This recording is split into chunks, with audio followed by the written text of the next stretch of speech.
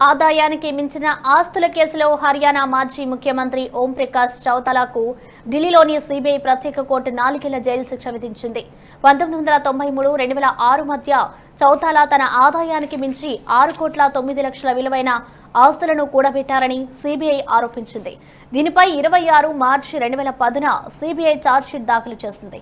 ఇరుపక్షాల వాదనలు విన్న కోర్టు చౌతాలాను వారం రోజుల క్రితమే దోషిగా తేల్చింది.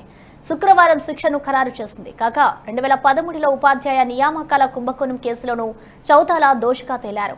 ఆ కేసులో చౌతాలాతో పాటు ఆయన కుమారుడు అజయ్ చౌతాలాకు కోర్టు పదేళ్ళ జైలు శిక్ష విధించింది.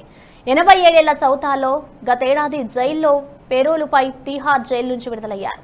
ఓం ప్రకాష్ చౌతాలా ఇండియన్ నేషనల్ లోక్ దళ్ అధినేత చౌతాలా మనవడు దుష్యంత్ చౌతాలా ప్రస్తుత హర్యానా ప్రభుత్వంలో ఉప ముఖ్యమంత్రిగా ఉన్నారు.